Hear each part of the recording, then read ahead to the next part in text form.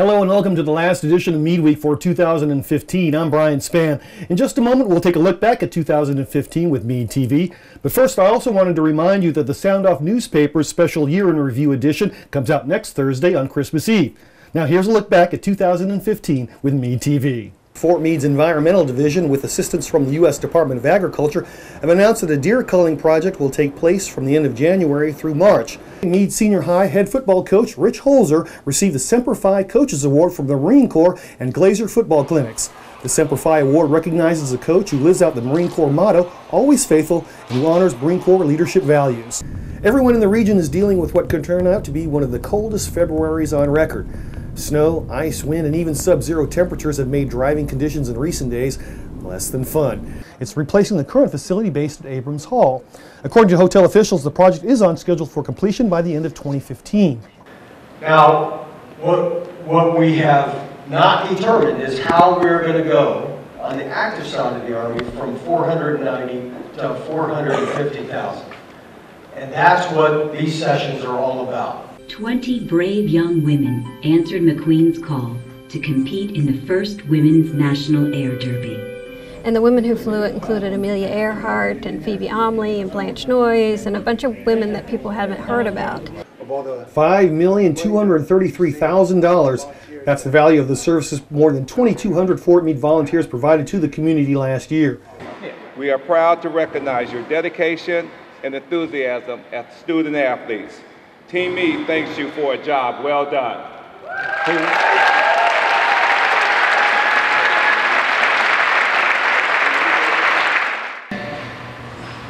To all of you, I say thank you for your willingness to do this today, but more importantly, thank you for your participation in this idea of service. These guys give us 500 free tickets for every Sunday home game for us to use for free. So please, if you have not taken advantage of that, please come to Parks and Rec and do that and take advantage and get those free tickets. And that's what the council does uniquely in the country is to meet on a regular basis and process all of the information and input and expectation that comes from people on base and off base about what the true potential of Fort Meade and the surrounding community can be. Army Sergeant Brianna Winninger, the youngest soldier at the scene, participates in the ceremonial cutting of the Army birthday cake. The Army is celebrating its 240th this week.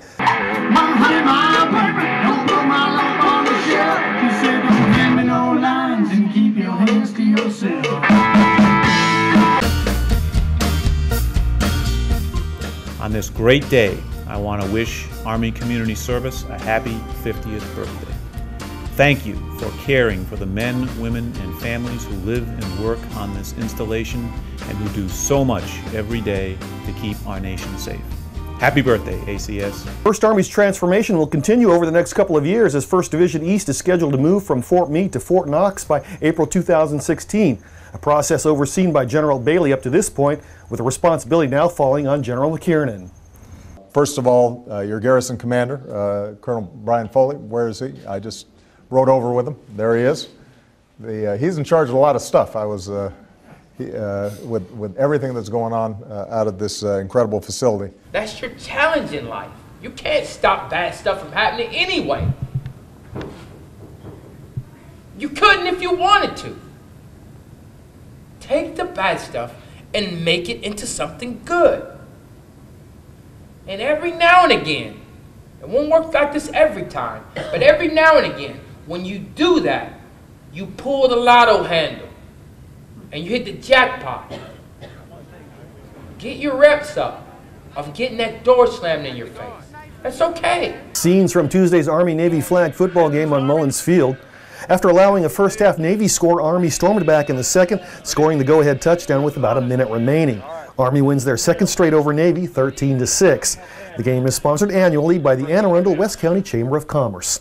And that's Meade Week for 2015. We'll resume our shows on January the 8th. And after next week's issue, the Sound Off will return on January 14th.